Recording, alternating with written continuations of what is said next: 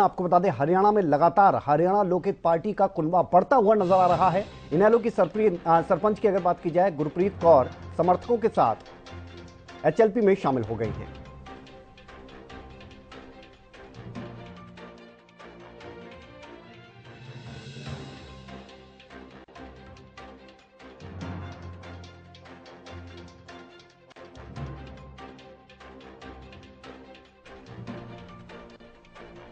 बड़ी खबर इस वक्त की आपको बता दें। इनेलो की सरपंच गुरप्रीत कौर अपने समर्थकों के साथ हरियाणा लोकहित पार्टी में शामिल हो गई हैं।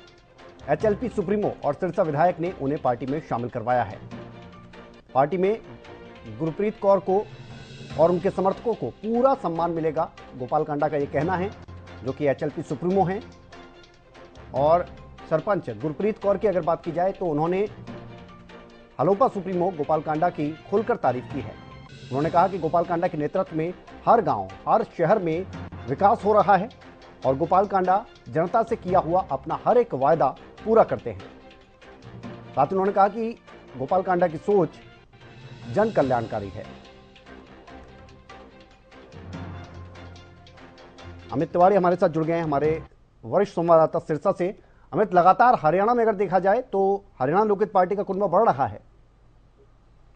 जी निश्चित रूप से विनय और जो कल भी एक कार्यक्रम हुआ था गाँव रंगड़ी खेड़ा में जिसमें बड़ी संख्या में लोग जुटे और खासतौर पर प्रभाव इस बात का पड़ता है कि क्या कुछ प्रोजेक्ट है जिन पर काम करवाया जाता है और कैसे उन्हें लागू किया जाता है कैसे योजनाओं को सिरे चढ़ाया जाता है। और एक पूरी तैयारी के साथ उस योजना को शुरू करवा दिया जाता है और लोगों का दिल जीत दिया जाता है। इसी को देखते हुए ही कल गाँव रंगड़ी खेड़ा में हरियाणा लोकहित पार्टी ने वहाँ की सरपंच अपनी पार्टी नेलो को छोड़कर हरियाणा लोकहित पार्टी को ज्वाइन किया और जो एचएलपी सुप्रीमो है गोपाल कांडा उन्होंने उन्हें ज्वाइन करवाया और अपनी पार्टी का बैंड पहनाया तो ऐसे में कुनबा लगातार बढ़ता है और लगातार लोग जुड़ते हैं क्योंकि वो नीति और नियत देखते हैं और इस हिसाब से कारवा जो है वो बढ़ता है। तो यही एक रंगड़ी खेड़ा में भी देखने को मिला। जी।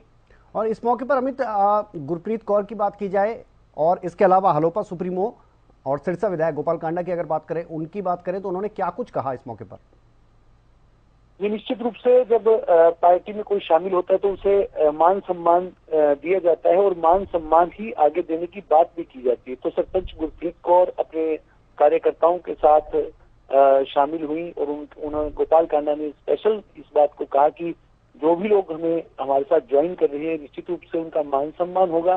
उनके इलाके का विकास होगा और जो भी वे मांग रखेंगे उस पर सकारात्मक रुख दिखाते हुए उस। गाँव का भी काम करवाया जाएगा विकास का और सरपंचों के जो काम है जैसे बड़ी खेड़ा की गाँव की सरपंच ने जो मांगे रखी अपने गाँव को लेकर चर्चा की विकास की उन पर उन्होंने सहानुभूति दिखाई सकारात्मक रुख दिखाया और उन मांगों को पूरा करवाने का आश्वासन दिया। जी। बेहद शुक्रिया आपका अमित इस तमाम जानकारी के लिए। तो आपको बता दें कि हरियाणा में लगातार हरियाणा लोकहित पार्टी का कुनबा पड़ रहा है हलोपा सुप्रीमो और सिरसा विधायक। गोपाल कांडा ने रंगड़ी खेड़ा की जो बात की जाए, उनकी सरपंच और साथ ही जो उनके समर्थक थे, जो कार्यकर्ता थे, उनको पार्टी में शामिल करवाया।